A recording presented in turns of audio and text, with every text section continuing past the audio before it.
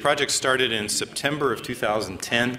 Uh, that was when we first got initial uh, funds to start studying the concept and see what we should do, what we could do, um, what would be the most valuable thing to do. We, we were in formulation for a couple years to understand what were the best technologies to test. Uh, we got confirmation in December of 2012. This when we really got fired up with the implementation, started putting together, buying the hardware, putting together the hardware, getting it all built up. So it took us a good year and a half to get to the point where we could actually conduct the flight with the, with the systems we put together. As soon as we started th sending things into space, we started trying to figure out how to bring them back safely.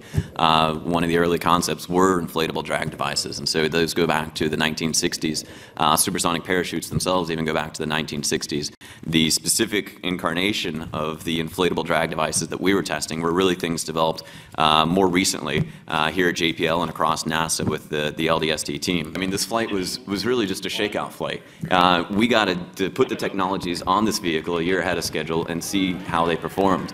Uh, the SIAD performed amazing, phenomenal from all the data, uh, and we can now say that it's a device that's mature enough to be used at Mars. Uh, we got early data on the parachute, and we can apply that data to the real tests, which will be next year. There will be missions that to put larger rovers on Mars to do more in situ investigation, missions to potentially go collect rocks, missions to try and launch them from the surface of Mars.